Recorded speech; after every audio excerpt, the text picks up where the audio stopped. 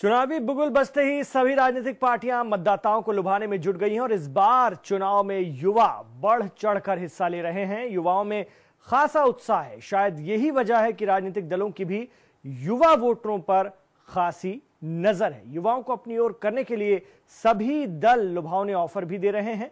उत्तराखंड और यूपी में होने वाले चुनाव की तैयारियाँ जोरों पर हैं और इस बार के विधानसभा चुनाव को लेकर क्या कुछ सोचता है युवा? देखिए, प्रतापगढ़ के मुनीश्वर दत्त महाविद्यालय के युवाओं से खास बातचीत हमारे रिपोर्टर उज्जवल सिंह की। नमस्कार, स्वागत है आपका हमारे खास प्रोग्राम यंगिस्तान की सोच में। हम इस समय है रजवाड़ों की धरती प्रतापगढ़ में। जानने आए हैं यहाँ के मतदाताओं का मूड। यहाँ की युवा शक्ति क्या चाहती है? इस बार वो किसके, किसे अपना भाग्य विधाता चुनेगी और किसे वो मुख्यमंत्री के रूप में देखना चाहती है? आगामी सरकार से कितने संतुष्ट हैं? हम जानने की कोशिश करेंगे। इस समय हम मुनीश्वर दत्त स्नातकोत्तर महाविद्यालय के प्रांगण में खड़े हैं। वहाँ कुछ कुछ छात्र छात्राएँ भी हमारे साथ हैं। हम जानने की कोशिश करेंगे कि उनके मूड में क्या चल रहा है। इस विधानसभा चुनाव 2017 को लेकर। अब मैं जानना चाहता हूँ आपको जिस तरह से प्रदेश में अखिलेश यादव की सरकार है, युवाओं के लिए वो तमाम योजनाएँ, लैपटॉप आदि योजनाएँ चला रहे हैं। कितने इम्प्रेस हो रहे हैं आप लोग इस सरकार से? हाँ वो तो अच्छा ही कर रहे हैं, अपने हिसाब से वो अच्छा कर रहे हैं, लेकिन हम लोग को नहीं लगता वो अच्छा कर रहे हैं, इसलिए हम लोग उनके साथ नहीं है। नहीं हम ये जानना चाहते हैं कि आप लोग की एरिया में जैसे समाजवादी पार्टी की सरकार है विधायक भी समाजवादी पार्टी के हैं कितना विकास हुआ है आपके इस क्षेत्र में कितना काम किया गया है सरकार द्वारा आप लोगों के लिए? हमको तो नहीं लगता कुछ हुआ है हमारे हिसाब से। और आगे मतलब जिसको लगता है वो तो नहीं जानते लेकिन हमारे हिसाब से तो हमको नहीं लगता कि अखिलेश सरकार ने कुछ किया। लैपटॉप देने से और स्मार्टफ़ोन देने से वो, वो मुख्यमंत्री तो बन नहीं जाएँगे और उनको कुछ करना चाहिए। यही नहीं मतलब बच्चों को लैपटॉप दे दिए और स्मार्टफ़ोन दे दिए, इससे तो कुछ नहीं होता। हम लोगों को कुछ नहीं मिला। जिनको नहीं मिला वो क्या करेंगे? जिनको मिला, ये हुआ कि 92 परसेंट के आगे जिनका हो 85 86 के आगे जिनका हो, वो मतलब हो लेकिन वो मतलब जिसका 83 हो पढ़ने में अच्छे हो नकल से हुआ हो नकल से जो पा गए हो 85 परसेंट नाइन्टी परसेंट उनको मिल गया हो जो अच्छे मेहनत करके पाए 83 परसेंट उनको नहीं मिला हो ये तो ना इंसाफी है। हमारी तरफ़ से तो नहीं सही लगता ये। आपको ये लगता है कि जिस तरह से सरकार द्वारा लैपटॉप बांटे जा रहे हैं इसमें अनियमितता बरती जा रही है जिन छात्र छात्राओं को मिलना चाहिए जो की मेधावी वो, वो मेधावी भी है लेकिन तब भी उनको नहीं मिल रहा है। ऐसा आपको लगता है? हाँ लगता है हमको ऐसा। यस सर ऐसा लगता है हाँ लगता है। हम आपसे जानना चाहते हैं कि अगर आ, इस इस बार जो सरकार बनेगी इस बार जो मुख्यमंत्री बनेगा मुख्यमंत्री कौन होगा ये तो भविष्य के गर्त में है। क्या मैसेज देना चाहेंगे आप अपने होने वाले मुख्यमंत्री से कि युवाओं के लिए ऐसा क्या किया जाए जिससे युवाओं की भागीदारी मतदान में भी बढ़े और युवा युवाओं के विकास के, का रास्ता प्रशस्त हो। वो तो मतलब जो भी मुख्यमंत्री होंगे, वो तो अपने हिसाब से अच्छा ही करेंगे जो करेंगे। लेकिन मतलब ये चाहिए कि हम लोग के लिए कुछ करें मतलब हम विद्यार्थी, हम लोग तो हमारे लोग के लिए कुछ करें। और मतलब जो गरीब है, उनके लिए कुछ करें, बस हमारी तरफ़ से यही इतना है। इनका ये कहना है कि जिस तरह से अखिलेश सरकार युवाओं को लुभाने के लिए लैपटॉप, स्मार्टफ़ोन, ये सब वितरण कर रही है, इससे युवा इम्प्रेस नहीं हो रहे हैं। इनका ये कहना है, इनका मानना है कि जिस तरह से 92 परसेंट फिक्स किया गया था कि इसके इसके ऊपर नंबर पाने वाले लोगों को लैपटॉप दिया जाएगा। इनका ये भी मानना है कि जो मेधावी बच्चे हैं, उनको लैपटॉप मिलना चाहिए था। उसमें कोई क्राइटेरिया नहीं निर्धारित होनी चाहिए थी लैपटॉप वितरण की। हम और भी छात्र छात्राएँ यहाँ पर हैं, उनसे बात करेंगे, उनसे जानना चाहेंगे कि उनके मूड में क्या है। दो हज़ार सत्रह में वो किसे किसके सिर पर ताज पहनाएँगे? क्योंकि कहा जाता है कि युवा ही किसी देश के निर्माण में सबसे बड़ा साधक होता है, साधन होता है। युवाओं की भागीदारी से ही एक स्वच्छ और स्वस्थ समाज का निर्माण होता है। इसलिए हमारे साथ यहाँ पे छात्र छात्राएँ हैं एमडीपीजी कॉलेज की। हम इनसे बात करेंगे कि उनके मूड में क्या चल रहा है इस चुनाव को लेकर। विकास कार्य जो भी हुआ हो मतलब अगर वो हमारे अच्छे के लिए ही करते हैं, उन्होंने लैपटॉप दिया, जिसको भी मिला हाँ ये सही बात है, जिसको नहीं मिला, जैसे अच्छे बच्चे होते हैं, उन्हें नहीं मिल पाता, लेकिन जिन्हें मिला भी है, अगर वो गाँव गाँव के बच्चों को भी मिला है तो कम से कम वो मॉडर्न थोड़ा टेक्निकल मतलब आ रहे हैं, और उन्हें भी कम से कम लैपटॉप ऑन करना पता चल रहा है, और रही बात आने वाली सरकार की कि तो जो भी हो, हमारे मतलब सबसे बड़ी बात है, हमारी जब शिक्षा अच्छी होगी, भविष्य अच्छा होगा और सब भविष्य अच्छा जाते हैं। तो हम यही चाहेंगे कि सबसे पहले नकल पर प्रबंधन किया जाए। इनका ये मानना है कि शिक्षा का स्तर अभी भी यहाँ पर गिरा हुआ है। शिक्षा का जो स्तर होना चाहिए यहाँ पर नहीं है। अभी भी नकल को बढ़ावा मिलता है। इनका ये मानना है कि जो भी सरकार बने, वो सबसे पहले नकल पर प्रतिबंध लगाए। हम इस, आपसे एक बात और जानना चाहते हैं कि आपके क्षेत्र में सड़कें सड़कें किसी भी क्षेत्र के विकास में सबसे बड़ा योगदान रखती हैं। कितनी अच्छी सड़कें आपके क्षेत्र में है और सरकार में, सड़कों के क्षेत्र में कितना विकास हुआ है? सड़कों के क्षेत्र में अब पता नहीं उन्होंने जो भी किया हो। सबसे बड़ी बात तो ये है, वहाँ से अगर मिलता भी है तो यहाँ वाले जो मतलब कोई भी अगर पूरा सामान पहुँच नहीं पाता यहाँ और जो सड़कें भी बनती हैं तो वो उसको दिखावे के लिए तो बन जाती हैं, लेकिन वो चार दिन में फिर टूट जाती हैं। अब पता नहीं वहाँ से नहीं मिल पाता या यहाँ वाले अब ये नहीं जानते हम लोग। कहते हैं, जब नारी शक्ति अपने आप पर आती है तो वाली शक्ति दुर्गा बन जाती है। इनका ये कहना है कि ये किसी भी प्रकार की, किसी की आवश्यकता इन्हें नहीं अपनी सुरक्षा को लेकर। इनका ये मानना है कि अपने आप से वो मेंटली प्रिपेयर मेंटली मजबूती इनके, इनको अगर रहेगी तो इनको किसी भी मदद की आवश्यकता नहीं पड़ेगी। और भी हमारे साथ कुछ लोग हैं, उनसे हम बात करेंगे कि आगामी विधानसभा 2017 के चुनाव को लेकर इनके दिमाग में क्या चल रहा है, इनके दिमाग में क्या है, किसे, किसके सिर पर ये ताज पहनाएँगे। हम आपसे जानना चाहते हैं कि विधानसभा चुनाव 2017 आने वाला है, आप लोग मतदाता हैं आपके मूड में क्या चल रहा है? कौन सी सरकार आप लोगों के हित में काम करेगी? किसे आप अपना वोट करेंगे? मैं तो सर सबसे पहले भारतीय जनता पार्टी को मोदी जी को अपना वोट दूँगा। क्योंकि वो हमारे यहाँ के आइडियल है क्योंकि केंद्र सरकार जिस हिसाब से वो लेके जा रहे हैं हम लोग को भी चाहिए हम लोग भी डिजिटल इंडिया में काम करें जो कि आजकल अमेरिका सबसे आगे बढ़ा हुआ है। हम लोग भी चाहते हैं कि मोदी के पक्ष में और हमारा वोट उन्हीं को मिलेगा। अभी कुछ दिनों पहले आपने देखा था कि सरकार द्वारा नोटबंदी लाई गई थी। बैंकों में एटीएम्स में तमाम लाइनें लगी थी। आप लोगों को भी समस्या का सामना करना पड़ा होगा। हम आपसे जानना चाहते हैं कि मोदी जी के इस नोटबंदी के फैसले से आप कितने संतुष्ट तो बहुत खुश है क्योंकि जो है, हमको पता है, पचास दिन का उन्होंने समय मांगा था, जहाँ तक ये है कि किसी भी हद तक पचास दिन के अंदर सारे कवर हो गए थे। हम लोग को भी ज़्यादा ज़्यादा दो दिन, चार दिन, पाँच दिन, एक हफ़्ते मतलब परेशानी हुई थी। उसके बाद हम लोग आज आसानी से कैश कर रहे हैं। और सबसे बड़ी बात यह है कि Paytm wallet S B I वगैरह ऐप जो आ गए, उसके वजह से हम लोग को ज़्यादा तकलीफ़ नहीं हो रही है। हम लोग आसानी से आदान प्रदान कर रहे हैं लेन देन कर रहे हैं। कि, ये प्रदेश में भारतीय जनता पार्टी की सरकार देखना चाहते हैं। नरेंद्र मोदी के, को अपना आइडल मानते हैं। नरेंद्र मोदी के कार्यों से बहुत संतुष्ट हैं। इनका यह मानना है कि नोटबंदी के बाद जो डिजिटल इंडिया का सपना प्रधानमंत्री नरेंद्र मोदी ने देखा था, कहीं ना कहीं वो सपना पूरा होता दिख रहा है इनको। और भी बच्चे हमारे साथ हैं और भी छात्र हैं, उनसे हम बात करेंगे। वो अपना अपना वोट किसको देना चाहते हैं और क्या चाहते हैं वो, कि क्षेत्र में किस तरह का विकास चाहते हैं वो, कौन सी सरकार चाहते हैं, इनके दिमाग में क्या चल रहा है कि कौन सी सरकार आकर क्षेत्र का पूरा विकास कर सकती है। रुकते हैं छोटे से ब्रेक के लिए हम जल्द ही लौटते हैं।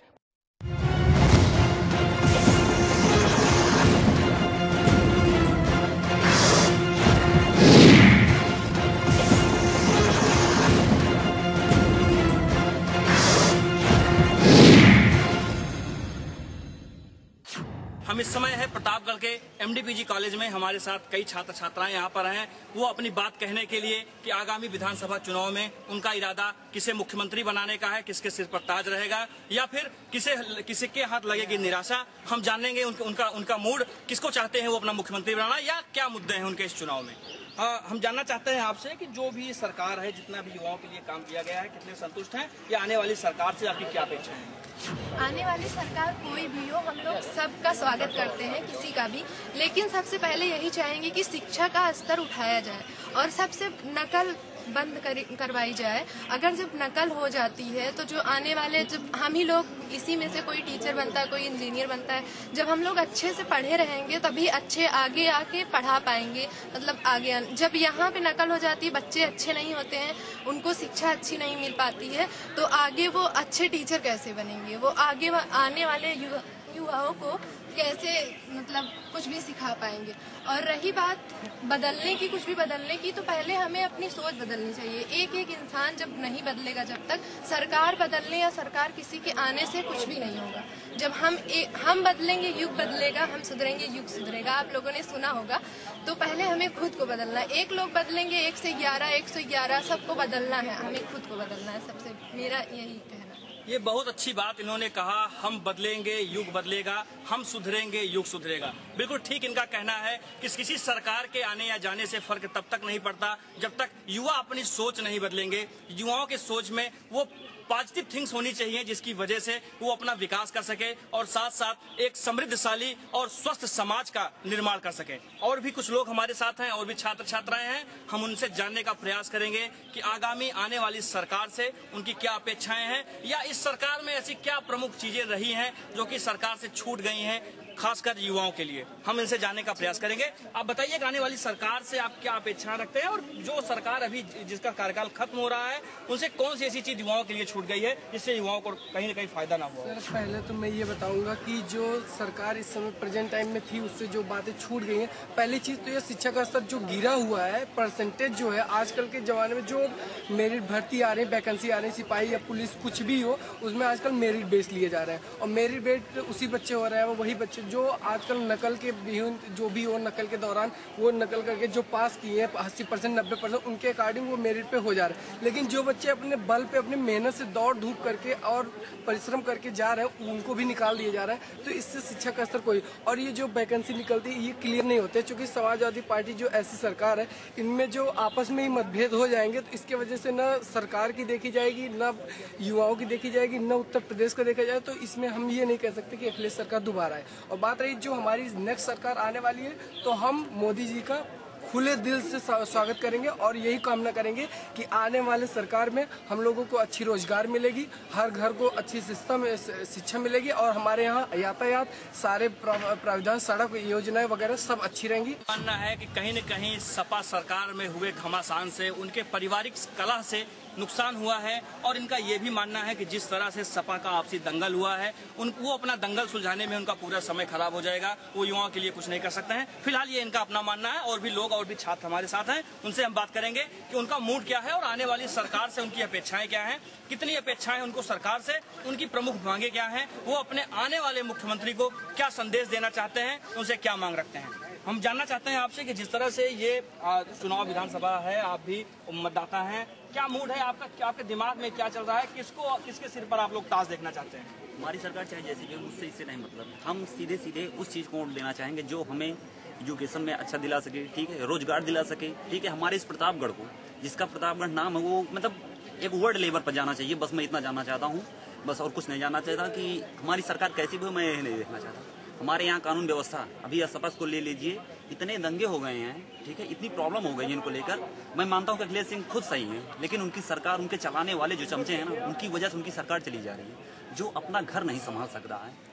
सोलह करोड़ अट्ठारह करोड़ की यूपी की आबादी, और यूपी की आबादी क्या संभालेगा? क्या स्टेट संभालेगा हमारा? इनका ये मानना है कि कहीं न कहीं प्रदेश सरकार से चूक हुई है, मुख्यमंत्री से चूक हुई है, मुख्यमंत्री के कार्यों से बहुत संतुष्ट नहीं है। इनका ये भी कहना है कि कानून व्यवस्था के मुद्दे पर, विकास के मुद्दे पर सरकार फेल रही है। नहीं, हम आपसे एक चीज़ ये जानना चाहते हैं कि आप रोज़गार के मामले में, शिक्षा के मामले में अपेक्षाएँ क्या रखते हैं आने वाली सरकार से? क्या करे आपके लिए जिससे आप लोगों को फ़ायदा हो? हम ये सीधे सीधे कहना चाहते हैं कि हमारे प्रतापगढ़ में इतनी बेइज्जती होती है इसको नकल के लेकर। सीधे सीधे फंडा होना चाहिए कि यहाँ पर नकल बंद ठीक है? और 80 90 परसेंट वालों को जैसे सभी ने कहा ना कि सब चीज़ मिल जाती है, जो आदमी मेहनत करके 60 परसेंट ले गया है, उसे नहीं मिलना चाहिए। वो तो खुद की मेहनत करके गया है ना, उसे मिलना ही चाहिए। तो सीधे सीधे एक बंदा मतलब एक फंडा होना चाहिए कि यहाँ पर नकल किसी भी सरकार में कोई विकास नहीं हुआ है, इनका ये मानना है। विधायक से इनकी जो अपेक्षाएँ थी वो पूरी नहीं हुई हैं। सरकार कहीं न कहीं इनका ये मानना है कि युवाओं के अपेक्षाओं पर खरी नहीं उतरी है और भी छात्र हैं, उनके मूड को जानने का प्रयास करेंगे। आगामी चुनाव को लेकर उनके दिमाग में क्या कुछ चल रहा है, क्योंकि युवा ही किसी देश के भाग्य का निर्माता होता है, इसलिए इनकी राय जानने का हम कोशिश इनकी राय जानने की कोशिश करेंगे। क्या चल रहा है इनके दिमाग में?